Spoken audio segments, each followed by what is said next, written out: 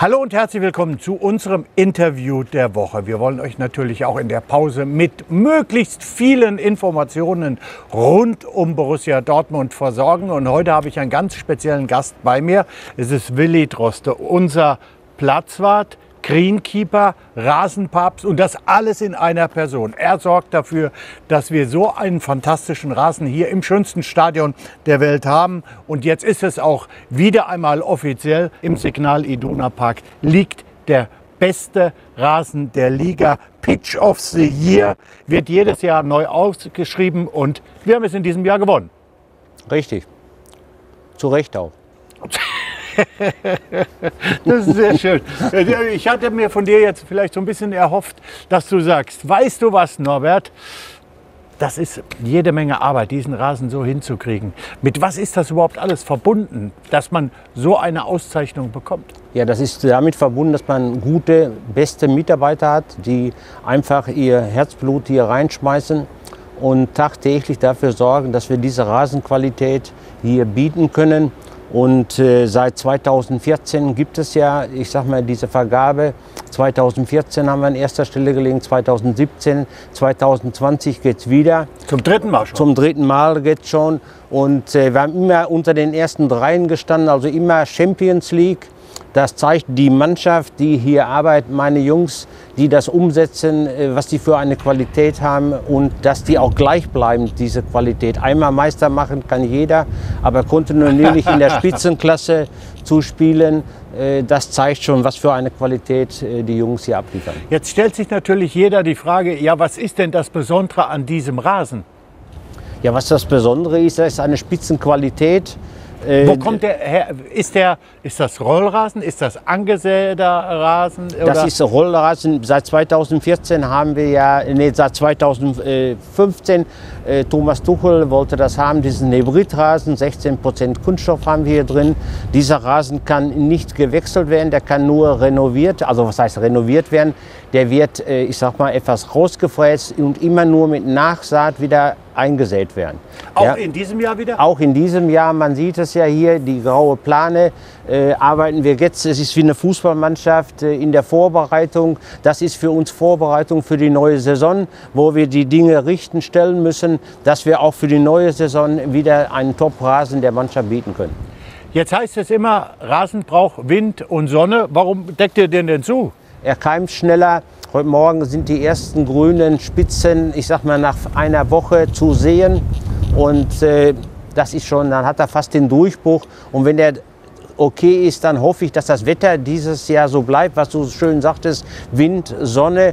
Hier geht, die Ventilatoren laufen noch gar nicht. Hier sieht man aber auch, wie der Wind unter der genau, Plane genau. durchgeht. Das ist ja echt cool. Die ist äh, äh durchlässig und das ist ganz, ganz wichtig. Und äh, wie gesagt, der kommt aber nur in Anführungsstrichen gute zehn Tage und dann kommt die Plane runter, dass der dann auch sich, sag mal, dann explodiert er, dann wächst er. Du betreust ja nicht nur äh, den Rasen hier im Stadion, sondern wir haben ja auch noch äh, auf dem Trainingsgelände, wie viele Plätze haben wir überhaupt? Äh, elf, zwölf? Ich weiß gar nicht genau. Äh, haben wir, ja, muss ich auch eben ein, zwei, neun Plätze haben wir da.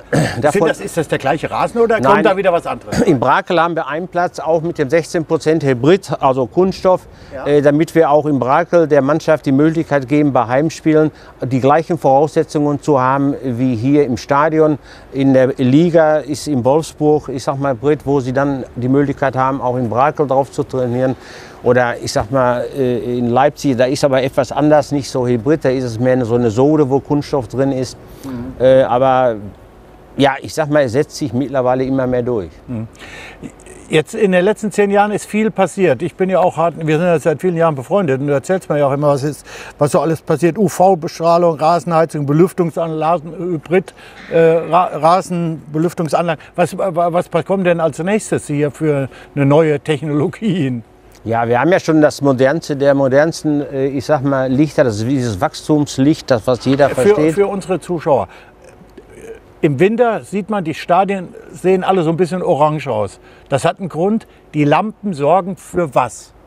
Die Lampen sorgen, dass der auch im Winter durchwächst. Also der hat ein durchgängiges kontinuierliches Wachstum. Man muss wissen, Rasen wächst im Winter sonst Überhaupt nicht? Nein.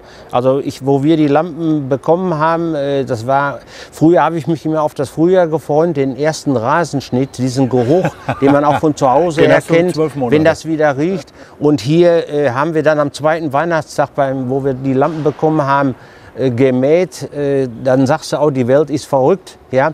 Wir mussten vieles, was wir gar nicht kannten oder wo man sich dann zurückerinnern muss. Was, du musst weiterhin düngen, er braucht Wasser. Ja, ich weiß noch, wo Josef Schneck mich anrief und sagte, da oben auf West ist ein brauner Flecken. Ich sage, erzähl mir noch nicht so einen Blödsinn. Dann haben wir auch immer so einen Blödsinn, wie wir beide oft machen, so ein bisschen quälen. Und da sagte er wirklich, ich stehe hier oben. Und dann sagte es Klick oben und gesagt, halt, wenn der wächst und das Licht hat und die, die ich sag mal, die Rasenheizung läuft, braucht er natürlich auch Wasser. Ja, Ja. ja. Einfaches Denken, dann auch das mussten wir dann umbauen, dass wir auch im Winter dann wässern konnten, weil wir im Winter sonst das Wasser immer runtergenommen haben, das ist, weil wir Angst hatten, es fällt uns zu. Ja. Wie viele Jahre bist du schon bei uns? Ich bin jetzt im 21. Jahr da. 21 Jahre, du hast nicht im Kopf, wie viele Trainer du hattest, ist ja auch egal. Aber es gibt verschiedene Trainer und Trainer haben manchmal unterschiedliche Auffassungen vom Rasen. Gibt es da spezielle Auswüchse bei den Trainern und äh, dem Rasen?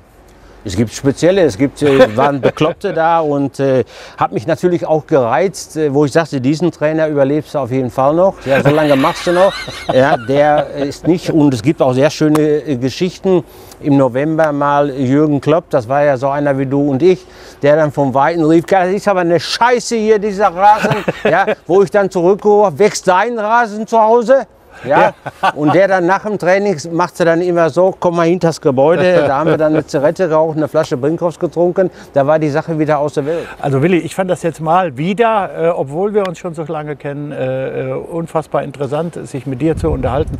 Dem Rasen, da kann man gar nicht genug äh, von hören. Ich kriege meinen weiterhin nicht zu Hause ähm, in, in, in Schuss, aber da, du Ja, ich weißt ja ja auch, nicht vorbei, Du weißt weiß- ja auch, woran das liegt. Ja, weil ich nicht gekommen bin. Ja, ganz genau. Ich genug jetzt, jetzt ist schon die dritte äh, Kiste Bier abgelaufen. Immer Scheiße. weil du hast gesagt, du willst kommen, du willst mal einen Rasen machen. Okay, hier ist er in Ordnung, ist auch viel, viel wichtiger als bei mir zu Hause. Das war's heute von uns. Vielen Dank, dass du dir die Zeit genommen hast und ich hoffe, für euch war es auch interessant. Tschüss, macht's gut. Der Nobby und der Willi.